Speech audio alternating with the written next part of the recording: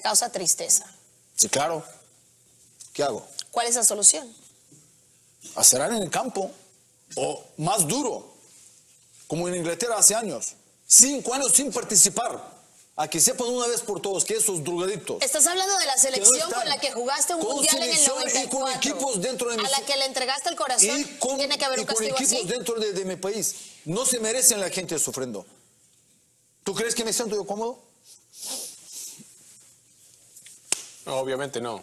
Es un momento. Yo creo que se necesita y creo que va a ocurrir una sanción ejemplar de la que habla Risto por parte de la UEFA. Digo, creo que la única forma de erradicar y hacerle entender, hacerle llegar el mensaje Sí.